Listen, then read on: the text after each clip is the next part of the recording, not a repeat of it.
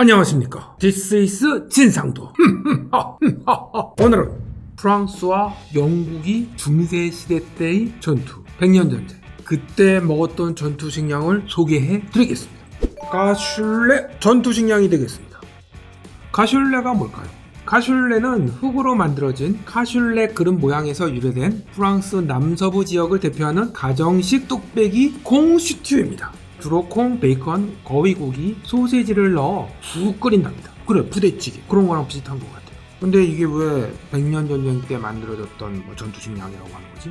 카슐레는 중세 말기 영국과 프랑스 사이에 벌어진 백년 전쟁에서 프랑스 시골 마을 카스텔 노다리에서 프랑스군이 영국군에게 포위되었을 때 프랑스군들의 사기와 기력을 높이고자 음식을 만들어줍니다. 콩과 베이컨, 돼지고기, 소고기, 거위고기 등 같은 걸 막 이것저것 섞어서 걸쭉하게 오래 끓인 거예요. 결국 이 프랑스식 부대찌개는 프랑스군의 사기를 드높였어요. 결국 영국군을 몰아냈대요. 그래서 프랑스를 지켜낸 상징적인 의미를 가진 음식이라고 합니다. 프랑스식 부대찌개. 바로 들어가겠습니다. Let's take closer look! 본토발음 한번 들어볼까요? cassoulet, cassoulet, 이 라르줄은 프랑스의 식품 회사 이름인데 이게는 1906년 노엘 라르줄과 아내 안나가 지역 전통 요리를 판매하는 작은 식당에서 시작했다고 합니다. 역사와 전통이 있는 회사입니다. 프랑스 전투 식량에 보면 이 라르줄 제품들이 굉장히 많이 들어가 있어요. 주로 돼지고기를 사용한 것 같습니다. 840g 흰콩이 들어갔죠? 돼지고기가 들어갔고 소세지도 역시 돼지고기. 오븐으로 재가열하라네 팬에는 약한 불에 한 15분 정도 하라는 거구나. 전자레인지도 한 4분 정도. 그러니까 이게 적포도주랑 먹으면 괜찮다고 하네. 적포도주가 없어. 하지만 지난 시간에 먹고 남았던 럼이 있습니다. 럼을 먹을 거예요 세계 모든 전투 식량과 비상 식량과 즉석 식품, 간편식을 리뷰하는 그날까지. 건배. 어우! 라르줄에서 또 유명한 게 있죠. 디저트. 제 기억으로는 이거는 초콜릿, 이거는 캐러멜일 거라고 생각하는데, 어 이거 뭐지? 통밀 쿠키예요. 요거를 준비했습니다. 요거랑 같이 먹을게요. 그리고 또 하나가 있는데, 어 이게 마트에서 이걸 봤어. 건조 대추 야자 이렇게 해서 팔고 있습니다. 사이드로 넣도록 하겠습니다. 자, 과연 cassoulet 열어보겠습니다. 오, 이야. 스튜라고 해서 국물 위주로 되어 있는 줄 알았는데 그게 아니네. 완전 고기 덩어리네. 냄새도 그 스팸 향에 당근 향이 굉장히 강하게 느껴져. 어, 밑에는 고기가 있고 중간에 콩이 들어가 있네 이렇게. 항상 이상인데 아 이거 완전히 부대찌개 들어간 재료를 그냥 통조림에 넣은 것 같아요. 와 된장 만들기 전에 그 메주의 비주얼입니다.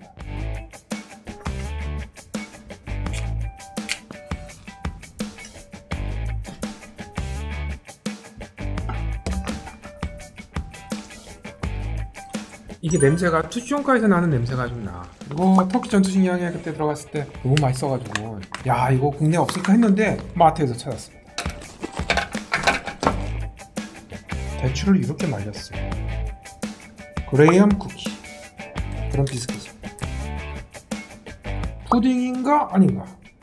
야 이거 푸딩이 아니면 정말 곤란한데? 자 까보겠습니다. 아이 푸딩이 아니네 돼지고기 아니라 이야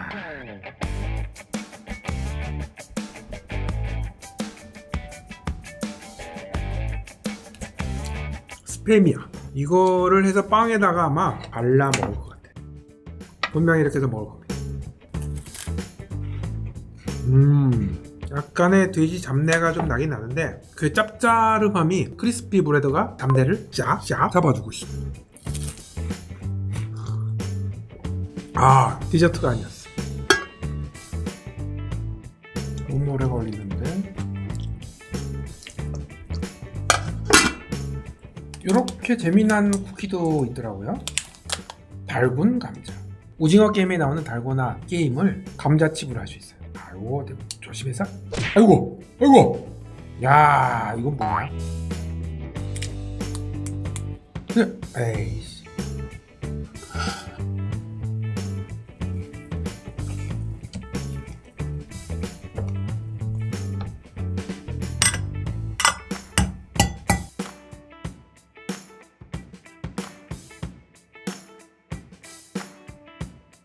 이야 맛있겠다.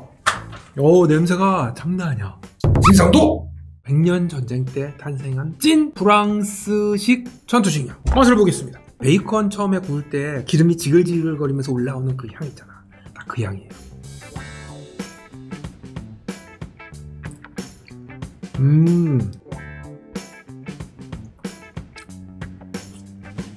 강남콩 70%, 쌀 같은 그런 느낌 한 20%, 10%가 판맛이 나네. 오, 근데 생각보다 담백하네요. 음, 살코기 느낌도 굉장히 소프트하고 괜찮아요. 아우, 맛있다.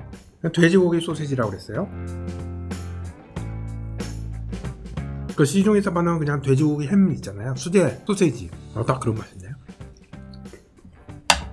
생각해보세요. 소세지 남았어. 콩 남았어. 뭐 스팸이 남았어. 그걸 끓였어. 그래서 어머니가 자 먹어 하면 먹겠습니까? 아, 솔직히 까놓고 먹겠냐고. 이거는 순수하게 이것만 먹는 게 아닐 거야 분명히. 이렇게 빵 같은 거랑 해서 같이 먹을 거야. 분명히 이렇게 해가지고 이렇게 쫙 해가지고 이렇게 먹는 거야. 이렇게. 뻑뻑한데 더 뻑뻑한 과자 같은 게 이게 들어왔잖아. 이거 아니야 이거. 안에 이런 오곡 비스켓 이런 게 좀 들어가야 될 것 같아요. 곡물 비스켓이거든요.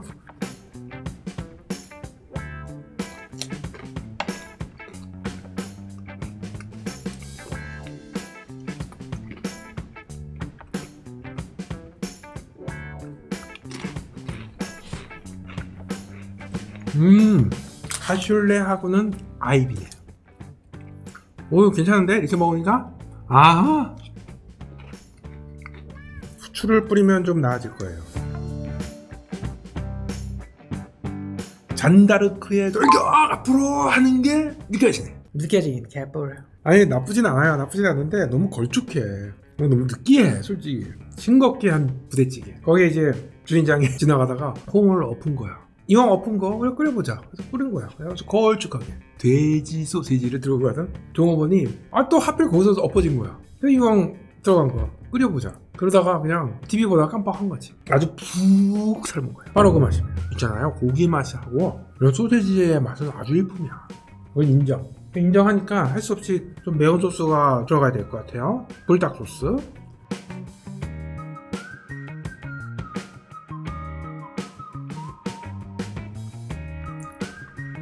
오 프랑스 음식에 한국의 양념장이 들어가야 돼. 야. 음.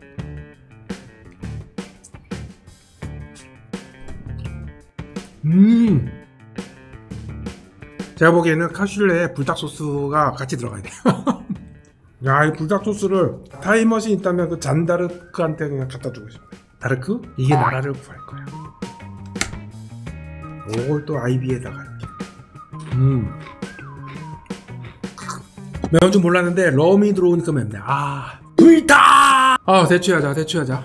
이거를 빨리 입을 달래줘야겠네. 중세 시대의 프랑스 전투식량 카슐레 잘 먹었습니다. 다음 시간에 뵙겠습니다. 자, 다음 시간이고 초코파이의 원조는 문파이, 문파이의 원조는 s'more. 바로 s'more 쿠키를 만들어 보겠습니다. s'more maker 기대하셔도 좋습니다. 구독, 좋아요, 알림 설정 부탁드리겠습니다.